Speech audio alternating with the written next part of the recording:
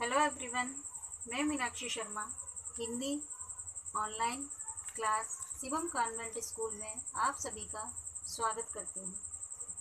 आशा करती हूँ कि आप सभी स्वस्थ व प्रसन्न होंगे। आज मैं आपका परिचय आपकी क्लास सिक्स बी की हिंदी बुक आराध्य से कराती हूँ। साथ ही साथ इसमें संकलित इतने ऊँचे उठो नामक कविता का भावार्थ भी समझाऊँगी। बच्चों, ये है हमारी हिंदी बुक, आराध्य। आराध्य मीन्स इष्ट या देवता।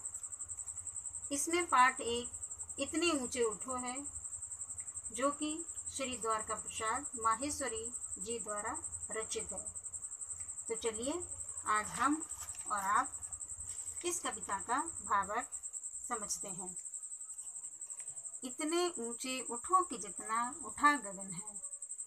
देखो इस सारी दुनिया को एक दृष्टि से, सिंचित करो धरा समता को भाव दृष्टि से।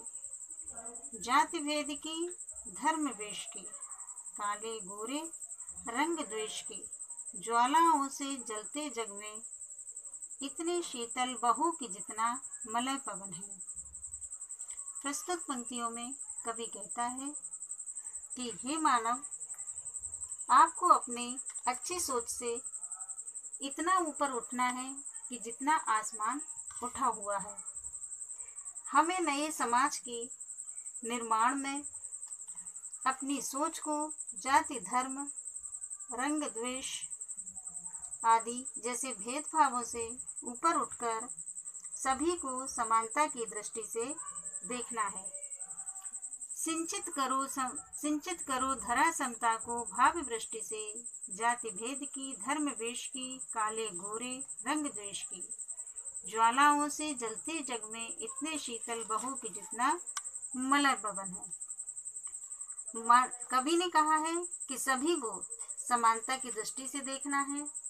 ठीक उसी प्रकार जिस प्रकार वर्षा का जल सभी को समान रूप से प्राप्त होता है उसी प्रकार हमें भी सभी के साथ समान रूप से व्यवहार करना चाहिए।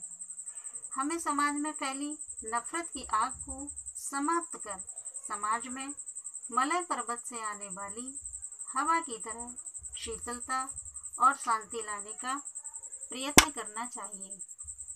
तो बच्चों, आज हमने इस पद्यांश का भावार्थ ग्रहण किया। अब आप इसके शब्दार्थ और भावार्थ अपनी फेयर कॉपी पर लिखिए और कविता को कंठस्थ कीजिए। धन्यवाद।